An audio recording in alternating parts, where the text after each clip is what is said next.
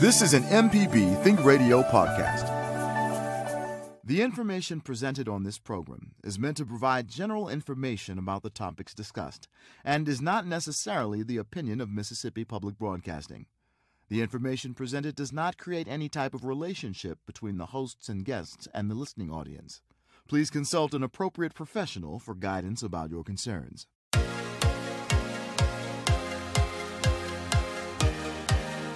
On Southern Remedy Healthy and Fit, you get information about foods you should eat to stay in good health and tips on how to stay active. I'm Josie Bidwell, host of Southern Remedy Healthy and Fit, and Associate Professor of Preventive Medicine at the University of Mississippi Medical Center. Listen to the show every Monday at 11 or subscribe to the podcast by searching for Southern Remedy with your preferred podcasting app. Okie dokie, folks. Welcome back. Horticulture Felder Rushing. I'm ready to chat with you about whatever's on your gardening mind. That's all me and Java are doing for the next hour. We don't have an agenda other than to listen, see what's going on, and if there's some things you want to chat about, argue about, uh, pass along to other people. Maybe you've got questions of things you don't understand out in the yard, like all those weird mushrooms popping up right now. And there's some weird mushrooms popping up out there. Whatever it is, it's on your gardening mind. This is an opportunity to chat with somebody who doesn't know it all, who knows a lot but doesn't know it all, and is okay with not knowing it because other folks going to chime in and help us all out. And most important, not going to try to sell you anything. I don't. I'm not driven by advertisements or sponsors or anything like that. I'm just a gardener, a retired horticulturist. Uh, Java, it's good to be back on the. Um, not out in a tent full of people and plants and stuff like last week at the Southport Flower Show.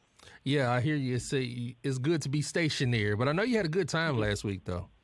It was really, really good. I mean, you know, I go to a lot of flower shows all over the United States and England, and went over to Floriade uh, in the Netherlands, which is once every 10 years. This is my third one. And uh, it's good to see interesting stuff, but it's also really, really good to see plants that we're familiar with. Uh, unfamiliar plants, they're cool. I take pictures. Don't want to try to go them in Mississippi because it ain't the same. But it's good to see a lot of our plants, our native plants, being used as beautiful but regular, just ordinary garden plants in other places where they don't see them as native plants or roadside weeds. They just see them as good garden plants, and that's always that's been real, real good. Anyway, had a really good time. I also met one of my heroes. You know, it's kind of weird being a media person and having media heroes, but uh, there's a couple of guys who are they're chefs. They're they're they're really they're best-selling authors. They lecture all over the place. A couple of guys though, they've got long hair and they ride motorcycles. We're talking about you know it, they're in their 60s, but they ride motorcycles and with a van following them around that's got cooking equipment, and they go all over the place, including well, they're they're they're from northern England, but they've been all over Europe. They've been to Memphis, they've been to New Orleans, they've been down through Mississippi, meeting and talking with and cooking local food. They're called the Hairy Bikers, and I finally got and, and I like them Java because they're not pretentious. They don't talk lofty. They laugh a lot. They drop stuff on the floor. They do everything that I do as garden variety. They're, gar- they're garden variety cooks like I'm a garden variety gardener, and they're real. I finally got to meet one of the hairy bikers, and I introduced myself as Hairy Biker. Meet the hairy gardener. I look. I just looked them up. Um, uh, fellas by the name of Dave, David Myers, Si King, and just as, yep. just like you said, they are some long-haired, bearded biker types. But like you said, you know, John, you know, you could see me standing by both of them. We all, we look alike. We're not pretty. We got long hair. We're older. But the most important thing is is is I try like them to connect with with real people, not trying to you know win the great chef awards. They cook when they were in Mississippi, they learned how to cook tamales, you know, and uh, you know, I, so I identify with people who are populist, and I'm a populist gardener slash horticulturist. So, anyway, I hope we get some calls today and chat about stuff. But I want to ask you something: How y'all dealing with this water? You getting any water in the house? No, well, for thank thankfully, um, around my house we did not get any water, but you know we are actually preparing um, for the Pearl River to crest on, I think, Tuesday. And it's a lot of voluntary. And then I believe they're going to push for some mandatory evacuations. So it's it's real serious in the in the Jackson area with the, the, the Pearl River, Ross Barnett Reservoir. It's real serious, man. We got like over 15, between five reports, five to 15 inches of rain in like three days. Wow. You know, San Diego only gets about 10 inches a year. But anyway, I hope everybody does well. I hope everybody else hunkers down. I hope that my clearing out my gutters back in the spring is going to keep my my my shack from flooding. But anyway, that's okay. I'm going to be back this coming next week and be in the studio. If I have to take a canoe job, I'm going to come see you in person. Well, remember 2020, we had a big flood, and it was in this area. So I don't know. You may have to break out the canoe.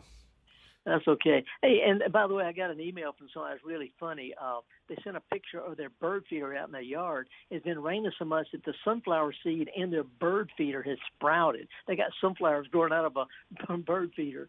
So, uh, and I know a lot of people can see earthworms on the sidewalk, but also they're going to be getting these millipedes. Some people call them centipedes, but they're little flat millipedes, looking for for for dry places. They're out in the lawn. They eat fats. They don't sting. They don't bite. They eat dead grass leaves and leaves and stuff.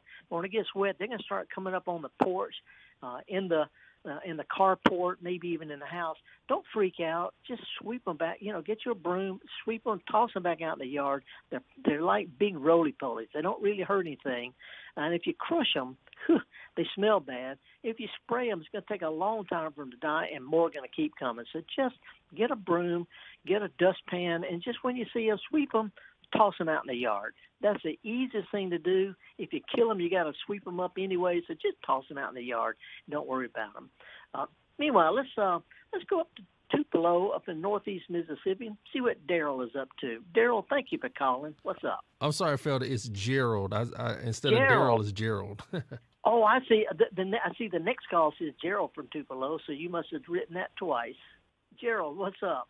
Oh, okay. I just uh, enjoy your show, and I want to ask you about you know some plants uh, that we normally plant during the summer. I know it's a little bit late for this question, but um, right. usually uh, I try you know to get plants to put in pots beside the driveway at home in in the Tupelo area. And what I've noticed is I was able to get tiger lilies and some of the more colorful things, but I haven't been seeing those lately, and I ended up just getting some geraniums this year, uh, and which uh, they've done pretty well as I've watered them uh, quite a bit, you know, through the hot summer. But I was just right. wondering, you know, why why I'm not seeing some of the tiger lilies and possibly in other uh, more colorful uh, things that I've been seeing. Well, it, it, first of all, his you didn't ask this, but let me throw this out. Geraniums are actually you know, they're almost like succulents. Uh, they don't really like a lot of water. It's real easy to overwater. You can actually take them out of a pot, shake the potting soil off, hang them upside down, and let them dry.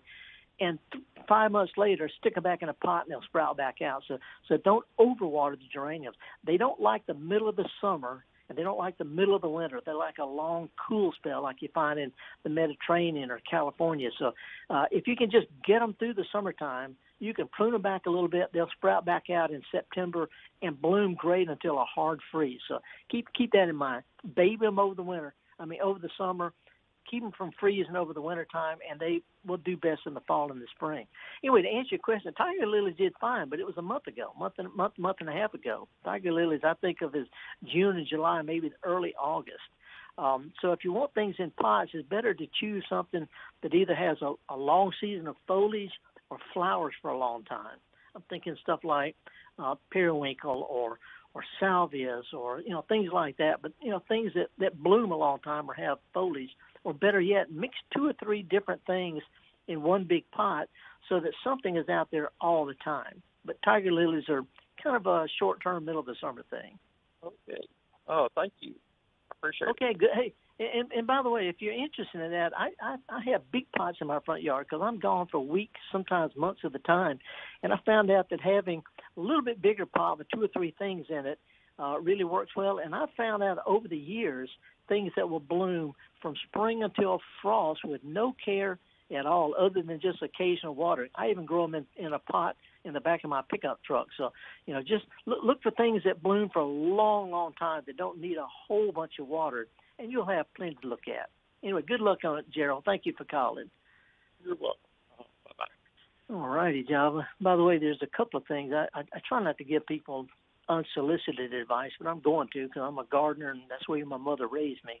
Um, but if you're the type of folks who like to fertilize your grass, now is the time. You know, we like to fertilize after it starts greening in the spring. You know, usually April. I don't, I don't know any conditions under which a lawn should be fertilized before April, and you want to fertilize in the summer giving the grass time to green to, to, to take the fertilizer up, to use it, and then still settle down before fall. The recommendation is get your fall feeding done by around now, towards the end of August, first part of September. So if you if you want to put a winterizer out or a second summer feeding, this is the weekend or after it stops raining to do it. Go ahead and get it done. Don't don't put it off. Um, and also, if you've got potted plants that have been watered a lot all summer, uh, watering washes fertilizer away. So if you use a t- slow release fertilizer any kind of fertilizer, I want to give you potted plants and any other flowers that are watered a lot, a little extra fertilizer because we still got two two months or more of, of, of good growing weather ahead of us. So fertilize your grass now if you're going to. You got plants that get watered a lot, especially potted plants, give a little shot of fertilizer. That'll help a whole bunch got a lot of time to talk with you about your gardening. That's what me and Java are here for. MPB uh, wants to put gardeners and cooks and repair folks and automobile folks with local experts. This is a chance to call and just yak about what's going on in your garden. I know it's really soggy wet right now, and um, a lot of people are in between things. It's it's really it really is too late to plant summer vegetables for fall harvest, things like tomatoes and peppers, and it's hard to find those plants anyway. May have time to get some squash in or something like that, but it's the time to start planting cool season vegetables. I'm talking about lettuce and mustard and carrots and beets, uh, cabbage and and uh, uh, broccoli and those kind of things. Um, you may have to protect the, the some of the, the plants like broccoli and cabbage plants from hot, hot sun for a couple of weeks. But it's easy to do. Just get you a branch off a shrub, stick it in the ground like an umbrella, and it'll just shade them during the middle of the day, and that'll help a lot. But uh, if you can get around to it, if your garden's ready, think about getting uh, some of the fall stuff into the ground so, because we have plenty of growing season uh, ahead for especially things like lettuce and leafy greens. Hey, let's slide up to Oxford now and uh, see what's going on. Chico, how you doing, man? Long time no see. Hey, good morning, y'all.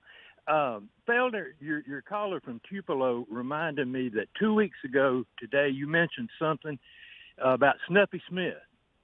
Yeah. And it, it it made me think of a of a of a horticulture question I've got for you about that, but I wanted to make sure that you do know the Northeast Mississippi connection to Snuffy Smith. No, I, I didn't. I thought Snuffy Smith was like up in the Ozarks or something. Well, that's true, but uh, you know, Fred Laswell is the originator and uh, writer of the of the strip, Snuffy Smith, Barney Google and Snuffy Smith. But it was Vance. Yeah, it was Vance Bristow of Tupelo, Mississippi, who was the artist and inker who worked for Fred Laswell, and that was Vance Bristow's art that you saw out there. That is so wild. I had no idea about that at all. He must have had some hillbilly relatives because he nailed a lot of that stuff. Oh, he's got a hillbilly son named Robert, who is a much beloved cartoonist in Tupelo right now. wow, wow, that's wild, man. I appreciate that. Uh, esoteric is what drives, makes, makes, keeps things interesting. Well, what, what well my question, my question is, and you know, you've also mentioned pogo in the past. Oh yeah. So I wondered, do you, as a horticulturist, when you're perusing these comic strips, as I do, have you ever noticed flowers or plants or whatnot that are not drawn correctly, or that you've noticed that like this artist really did a good job on that.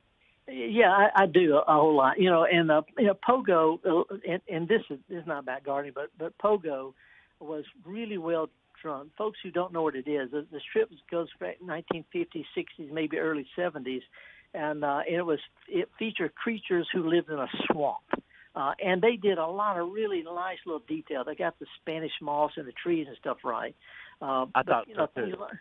Yeah. So anyway, and and I, I I've seen quite a few that were really really interesting, but most of the time it's just I'm I'm always looking for for uh, just the, the humor connection, just the humor connection, because there's so much about humans. Uh, gardening is a human activity, gardening and cooking, and there's a lot of a lot of funny stuff in both of those. Well, I, I sure do appreciate you and Java. Thanks, y'all. You bet. Thanks for calling, guy. Pogo, he we have met the enemy, and he is us. Uh, let's go down to Mandeville, Louisiana. Peg, how are you this morning? What's going on in North Shore? Hey, how you doing, Felder? You came and, and spoke to my Keep Mandeville Beautiful group years ago, but I still love you. Thank you, thank you. I'm gonna be doing a talk uh, some sometime around there. Uh, let me see. I'm doing a, a program uh, well, I, I'll tell you, wh- while you're talking, I'll look it up on my calendar. I'm going to be down in your neck of the woods, uh, I want to say in the next month or so. Yay! Glad. So well, what we love to hear. What's up? Well, what's up? Well, I've got I've got um, some walking bamboo. It's actually come from across the street backyard under the ground and over to my and it's and it's getting into, and I, I really need to stop it because I can see that it's going to be a problem. I've got clump bamboo, which is wonderful for me, but this running bamboo, how on earth can you get rid of it? You talk about the, the the ground cover kind or the big tall kind? No, the big tall kind. Yeah, really something. It's, okay. For, for one thing, a lot of people say it's impossible. It's not. But keep in mind that it doesn't have really deep roots, but it's got underground rhizomes, sort of like stems right under the ground. Yeah. You don't if you don't get all of yeah. those, yeah. So you can cut it down, you kill all you want, but if you don't get all those, it's going to sprout back out. So the easiest way to to me, and I, and I've been dealing with it for a long time, would be to over the winter time just cut down all that you that that you need to, just cut it to the ground, and you know because it's easiest, and you don't have to worry about snakes and all that kind of stuff. And then let the new growth come up in the spring, let it sprout back out, and when it gets about knee high, somewhere between knee high and waist high, you can spray it then. Uh, and there's several things that'll that'll kill it. There's uh, uh, any kind of true grass killers, uh, things that are grass only killers, because bamboo is a grass, or Roundup.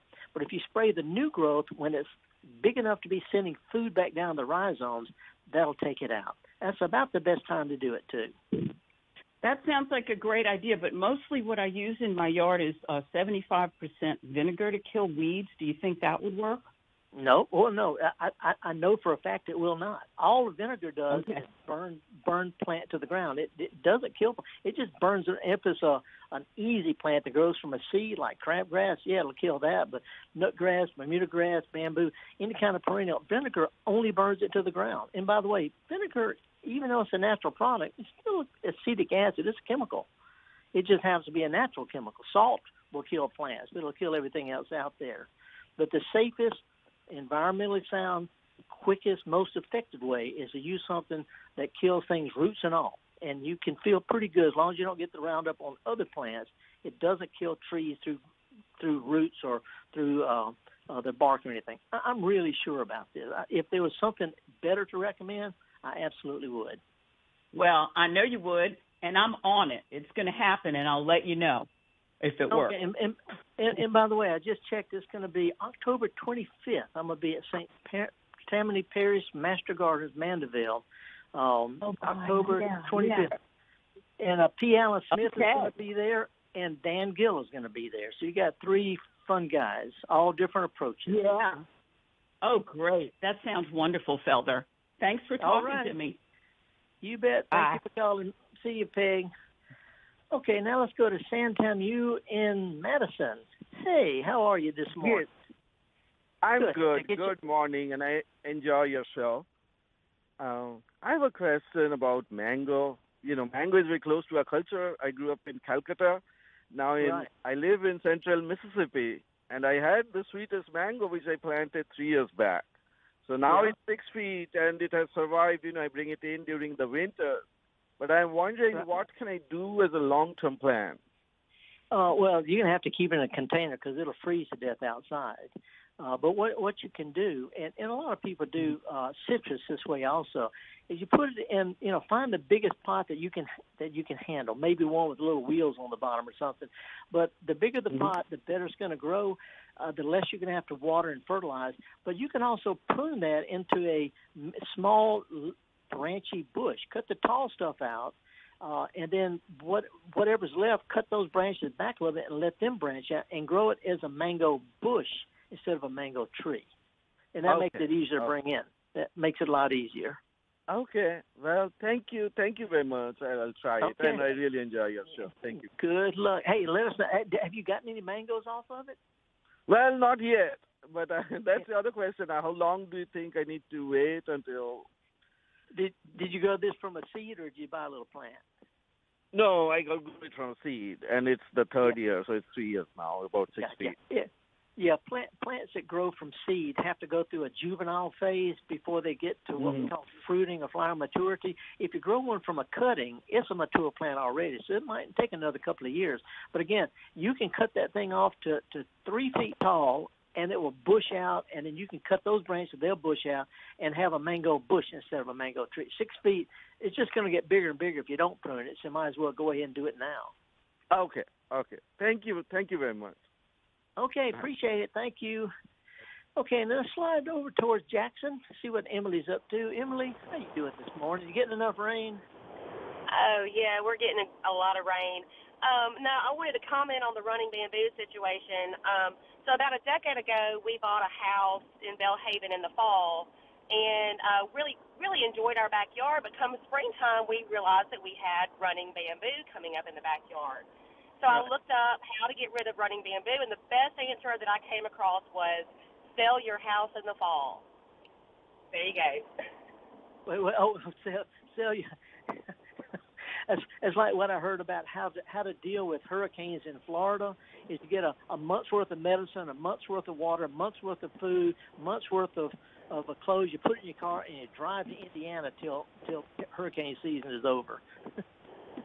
but anyway, that's, that's, so, so what, what you got? What's uh, oh was that it? That's it. You have a good day. I appreciate it. Yeah, bamboo. It can be tough. It can be really tough. Job. I get so many calls about this. A neighbor planted bamboo, and it sends these woody little stems onto the ground, and they shoot up. And if you pull them up, more just keep coming up. So sooner or later, you got to either pull it up or just break down and spray it. That's like we have some around. bamboo here um, on the um, on the campus around the MPB studio. We have a, a nice bush of bamboo. Matter of fact, that, that that's actually where I get my my pea sticks. You know, I got a little raised bed garden, and I make a little little frame over my peas and my beans to have grow, and, and I get them from down down there behind the the uh where the uh the maintenance shed down there. Yeah, but um, let's let's slide to Hattiesburg and uh speak with Lisa. I appreciate it, Java. Thank you, man. Lisa, what's going on? Good morning. I bought some uh, lemon trees that were very small little lemon trees, and they're not growing tall. They look like they want to turn into a bush. Is there a way that I could get them to grow um, into a tree shape rather than a bush? Uh, yeah, it's called directional pruning. What what you do is uh, keep in mind that that all new growth comes on the end of the current new growth. So if you'll go in and thin out some of the the little limbs and then thin out some of the branches and only leave the ones that are going up and out in the direction you want. If you just cut the others off without leaving stubs, cut them as if they were never there, just flush, uh, then the energy that would have gone to them would go to what's left. And and in other words, if you have four branches, you cut two off, the two that are left are going to grow twice as fast. So so just oh. just cut off all but the ones that grow in the direction you want. Okay, thank you very much. Okay, appreciate it. Thank. Oh, I want to ask you this: Are these out in the yard or are they in pots? They're in pots near my okay. uh, garage. Okay, but you're going to bring them in in the winter, or, or, or somehow cover them, bring them in the garage or something. The reason I'm saying you might want to keep them as bushes, but still thin out some of the branches, some of the limbs. You may want to keep them as a general bush shape, but, but without as many twigs and branches. In other words, just thin some of it out, but down the road, you're going to be glad it's kind of a, a, a bushy instead of a tree thing because when it comes time to bring it in, it's going to be a booger bear. So I would just thin out some of the growth and leave some of it, but always keep it small enough to bring in. My next door neighbor has a bunch of um, orange trees that he planted, and in our zone, I didn't think they had a chance of making it through the winters, but they grow. Now, of course, in the winter they can freeze, and you can see that the leaves look very sad.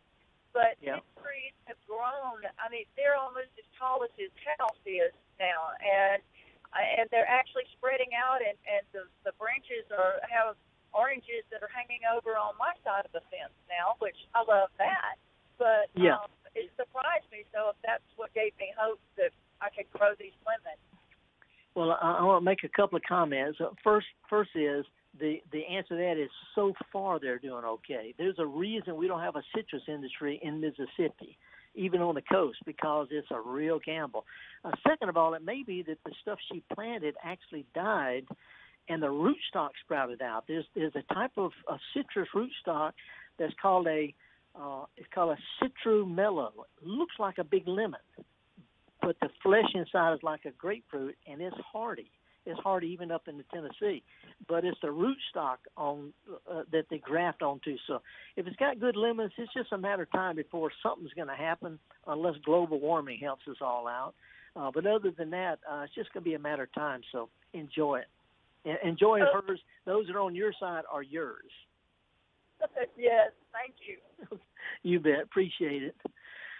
I got a little poignant tune. I'm gonna be back in Mississippi. Been over in England since the first part of June. Run out of flower shows, run out of gardens, run out of botanic gardens. I need to take care of my yard.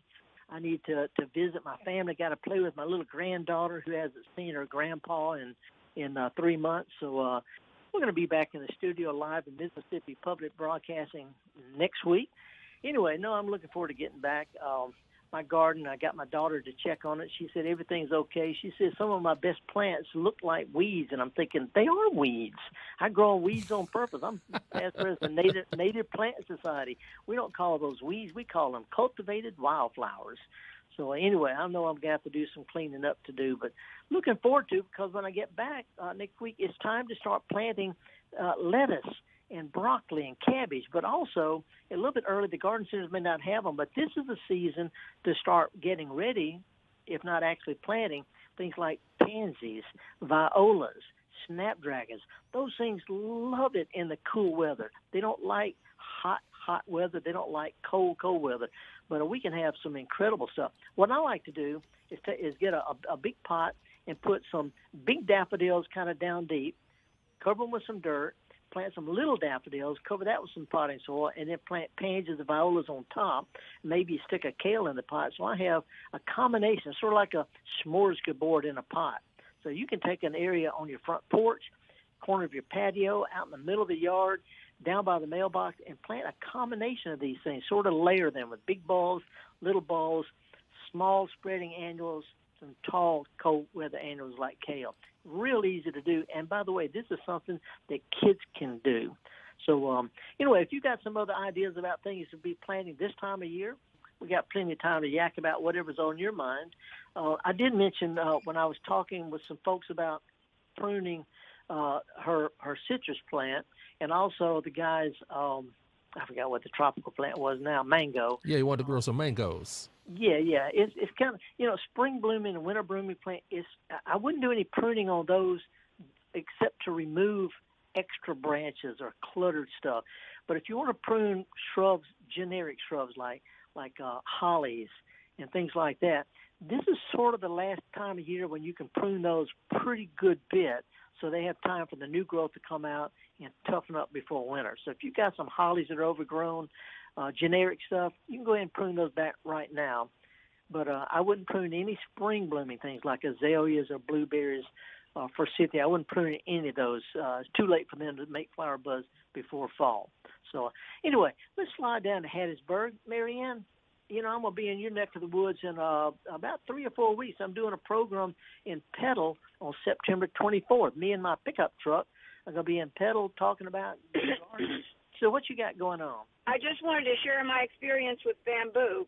I did this in Mandeville, and I now live in Hattiesburg, and I did it here too. For a privacy fence, I planted green. I think it's called green goddess bamboo. It's the clumping Yeah. kind. It doesn't run. Right, right, right. And uh, it was probably I planted 24 of them. I got them from that little bamboo farm in uh, Brookhaven. Right. Okay, so they were only about a foot high, and now they're as tall as the house, and they're beautiful. And they don't they don't run. Right. It's just right. that uh, it's a clump. There's so many different kinds of bamboo I found out, and this may not be as pretty as some of the exotic ones, but it doesn't run. Yeah, as a matter of fact, I was I was my great grandmother was a horticulturist. and She lived across the street from me up in the Delta, and she had a clump of it of, of the clump forming bamboo. And like you say, it's 18, 20 feet tall. But even though it's been out there for way more than half a century, it's probably not more than ten feet across the whole clump. And we're talking about half a century of growth. It just spreads real slow. But that's a good tip. If people like bamboo, the clump forming. Now it may not be hardy up in Memphis. Sometimes they get winter damage, but it usually comes back. Anyway, a really good tip, Marianne. Thank you. Okay, bye bye. All righty, folks. Uh, I am going to be in Petal, Mississippi, September 24th. September 27th, I'm going to be at the Louisville Extension Office. Jim McAdory is, is having me up do, doing a program with his master gardeners and the general public. I'm going to be in uh, uh, oh Louisiana. Let me see. Going to be in Kosciusko and uh, Lowndes County, Holly Springs, Brandon, anyway, got a lot of stuff like this. If you've got a library group or a master gardener group or a church group or some folks that would like to have me come up and give a program, I'd love to. I do stuff like that all the time. Get in my pickup truck, sometimes my Jeep, and drive all over the place and give fun little programs. I do that because it's what we do best. And We're gonna have have to um, pull back out Johnny Cash. I've been everywhere, man. Oh, you know, you know, it, it is really it is really interesting. I thought about doing that. I mean, I've been to Itawamba, I've been to Iuka. There's got all in Mississippi. There's got to be a tomb there somewhere. And before you left, didn't you complete the 80 county, 82 counties? Um, Yep. I, I I was in uh, Itawamba County was the last of the 82 counties for me to give a lecture in, and, and I did this, the program twice. Once in the the evening, once the next morning. We had big big crowds both times. So anyway, no, I've been. I guess you could say I've been everywhere now. I haven't given a talk in Issaquena County because they don't have a place to, to have a talk. You have to go to to uh, uh, Sharkey County next door to the library to have a talk. But other than that, I, I've been through there. So, Java, let me ask you something. Back in the spring, y'all planted some stuff in a pot. Bet it ain't still there. No, it is still there. that's a strong that's a strong man plant that you gave us because um it's holding on. It has its ebb and flows. I will say that. Sometimes it, Yeah. it, like shrinks and then next thing you know, it sprouted back up. So the kids they they do enjoy it. They point it out. So yeah, appreciate it. Well- Thanks. Well, this this fall, I want to see. I want you to bring the kids over, uh, and and I, I get them to help me put together a pot full of stuff for them that'll do great over the winter time too. Uh, we'll do a you know that's, you know sneak them away from mom, and we'll just have a lot of fun with them. Well, as long as you don't mind them running around, we can put the uh put the blanket over the the mannequin. oh yeah, yeah, yeah. The mannequin. She got a cape on. When when kids come over, I I, I put a cape on her. okay. anyway, oh, and uh, and and by the way, there's there- there's a few interesting things going on. I'm trying to remember what one. Oh, oh I'm getting uh I'm doing an experiment uh, Java this fall. Uh, you know, you know about clover. It has the white flowers out in the yard. Everybody's always had clover, the honeybees and stuff. mm-hmm. Well, they've come out with a mini clover. It is the same. It is identical clover, but it's miniature. It gets about a third the size of this. So the leaves are smaller. It's got fewer flowers, and it grows level or just barely above the grass. It doesn't make big clumps. Anyway, the company that that, that came out with this is sending me some seeds to plant. So so. Uh, you know, a lot of a lot of people are tired of trying to spray for the weeds, and they're trying to let wildflowers grow, and they don't. But they want something that looks better than the wildflowers.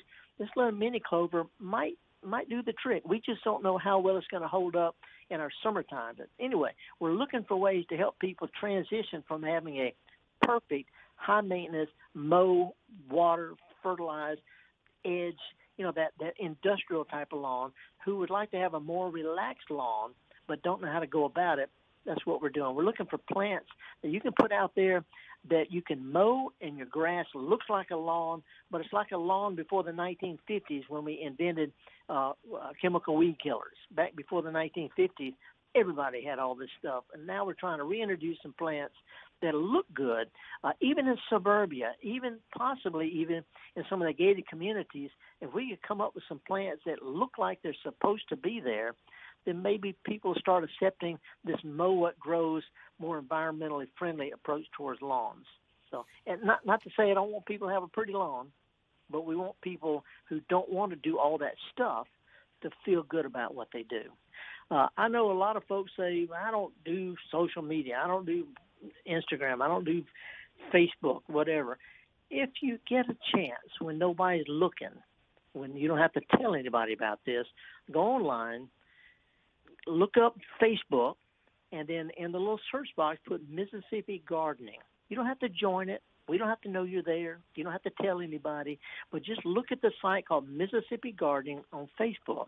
Scroll down and look at some of the stuff. People are showing pictures of of uh, of what's going on in their yard, unusual butterflies, interesting things they've seen, flowers that they love to grow, flowers that they are going to like to other see, see other people doing, things that are going on, and things with what's going on here and look at the answers from garden variety gardeners as well as horticulturists. I see Gary Bachman there.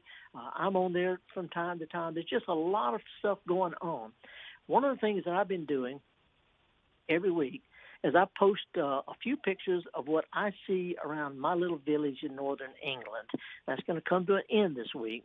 I'm start doing stuff about what's going on in my yard. But it's a great little place to hook up with garden variety gardeners, amateur gardeners, expert gardeners, hardcore gardeners, uh, non-judgmental.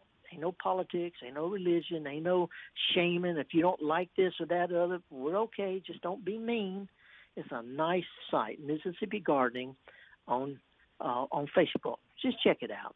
Um, anyway, we're going to take a, a, a, slide on up to uh, Oxford, go up to Lafayette County, and talk with Jesse. Hey, Jesse, what's going on? Hello. Uh, I had some questions about what to plant this year for the fall, uh, fall gardening and all that. I use uh, raised flower beds, and I try to put uh, organic compost from my goat pen in there. And right. uh, but I I'm new to this gardening and all that because I'm worried about you know all the stuff going on and fresh vegetables for my family. And I was wanting yeah. to put stuff in there like cabbage or lettuce and all. I know the previous caller you said cabbage is the best time to plant is about right now. And I try and find out more information about that and using organic uh, compost from my goat pens like hay and all that other fertilizer. Yeah. Well, well, first of all, let, let me tell you where you can get information that you can have at your fingertips. Mississippi State has a publication on home vegetable gardening. They just redid it, and it is fantastic because it's written by people from Mississippi about what kinds of things grow here, what varieties, because you know you can plant. There, there must be 50 different kinds of carrots, but they don't all do well here. So, what kinds of vegetables, the best varieties, and how how do we grow those kind of plants in Mississippi, not Minnesota or Florida. So it's really good. It's free. If you go to msucares.com, it stands for Mississippi State University Coordinated Research, whatever. MSUcares.com. They got a gardening publication that's free. It's downloadable, or you might swing by the county extension office on Highway 7 just south of town and pick up a copy. So right off the bat, that is your go-to reference. Uh, but to answer your question directly, uh, things like cabbage, if you plant a dozen cabbage plants this week, you can have a dozen cabbage plants ready to eat all at one time. So, so thinking of break, taking your beds and breaking them up, each one is an individual garden. Plant a little cabbage now, a couple of weeks, plant a little bit more cabbage, a couple of weeks, a little bit more. In other words, whatever you plant, stagger it so you don't have everything at one time. Uh, right now, you can plant lettuces um, uh, that, that produce really, really well from seed real fast. You can put out broccoli and cabbage. There's a plant called kale. It's sort of like collards, but it's better for you. It doesn't take bacon grease to eat it. Uh, but kale will grow and produce all winter long, no matter how cold it gets. See, so there's uh, those kind of things we can be planting now. You can plant garlic in October. Just stick cloves in the ground, and each one's going to make a head with cloves of garlic that lasts you all through next season. So, so garlic plant in October, leafy greens right now, uh, one thing I would avoid uh, doing, Jesse, would be planting a lot of stuff that you can buy cheap, like Uh, you know, carrots are, are not that cheap, but you can grow carrots. But there's not a, a lot of reason to grow uh, a whole bunch of stuff that you can buy cheaper in a small space. Production, um, uh, nutrients, things like that are more important than just growing something that's popular. So look for things that produce well in a small space. Think about staggering their planting so you don't have to eat them all at once. And certainly think about uh, lettuces and other leafy greens, cabbages, collards, um, uh, kale, things like that. They're really good and they'll get you through the winter time. Uh, what about the organic fertilizer, like from your goat pen or rabbit pen or chicken pen, to help use for natural fertilizer? Because I don't like putting all the chemical fertilizers in the uh, garden. I try to put that in there and mix it in so uh, yeah. throughout the winter it has time to bleed into the soil so it won't burn the uh, burn the plants yeah, up. Well, okay. Well, well, first of all, plants can't tell whether fertilizer is synthetic, uh, chemical, or natural. They absorb things on a molecular level. So whether it's organic or chemical, plants absorb that way. It's not going to poison your plant to use a little bit every now and then. You can overdo it with natural fertilizer. Goat fertilizer, chicken manure, they're pretty strong. If you put too much in there, you can over fertilize with those just as easily you can over fertilize with anything. So just add a little bit every now and then. Use a lot of compost, leaves, uh, bark, things like that to fluff up your soil. And, uh, and, and, and, and you know you don't want to use a lot of manure because that's the same thing as over fertilizing, and it has uh, it, it can cause problems. So nothing wrong with it. I, actually have written for Organic Gardening magazine, and I'm I'm going to say I'm probably 98% organic myself. But uh, the main thing is don't overdo it. Don't feel like the more you put in there, the better it is, because that's just not true. That's not true. Anyway, take your time uh, get, get, shoot me an email sometime. Go to my blog, felderrushing.blog. Has a big thing that says email me. Let's get a little dialogue going so that if you have specific questions, I can answer a little bit more in detail than we can here on the radio. But uh, also, you can visit the uh, the community garden there uh, at the corner of Highway Six and Seven there in in Oxford by the uh, across from the library they've got a lot of really good raised bed organic gardeners right there who can who can give you ideas on what they plant and uh, and how they go about it. So between the extension service, uh, the community garden there, the Oxford Community Garden, emailing me, getting in touch with Master Gardeners, you got a lot of people who can help you out. Just don't feel like you got to overdo it. Take your time. Thank you very much, and God bless you. Thank you. Appreciate your call. Ooh, job, I get that a whole lot. You know, I'm uh, what they call MO, mostly organic. And uh, if I use a chemical or synthetic thing in my garden, it's because I know that it's okay. On the other hand, a lot of natural stuff can cause problems. So kind of balance it. And uh, we can't know it all. Those of us who know a lot wish we didn't know some of it. But uh, we all get together. We all try to find a. Cons- it's not black and white out there in the garden. It's we can all get along, and there's ways you can take advantage of everybody's knowledge uh, to get us through. So that's what we try to do here on Mississippi Public Broadcasting. Uh, if, I say something's wrong, somebody's going to straighten me out, and this happened before. Um, so anyway, during the week, if you want to shoot me an email, go to felderrushing.blog, B-L-O-G, not anything else. Felderrushing blog is how things says email me. Send me an email. I get this all the time. And while you're at my blog, Take a look at my latest one I just put out yesterday on peat moss. How is it made? Where is it from? What are these weird insect-eating plants that grow out there? And why do I think it's okay to use a little peat moss in your garden, which I do? Anyway, I'm horticulturist Felder Rushing me and Java Chapman and other folks at MPB, we're glad you joined us today. Look forward to chatting with you next week. It's rebroadcast on Saturday, and of course, we've got the podcast, mpbonline.org. Meanwhile, if you get a chance, farmers markets are cranked up, garden center is getting cranked up. Take a kid or a neighbor or a group of you, go out to a garden center or a farmer's market and pick up some stuff. And if you get a chance to show a kid how to do it, do it. Show us them how we do life get dirty. This is an MPB Think Radio podcast. To hear previous shows, visit MPBOnline.org or download the MPB Public Radio app to listen on your iPhone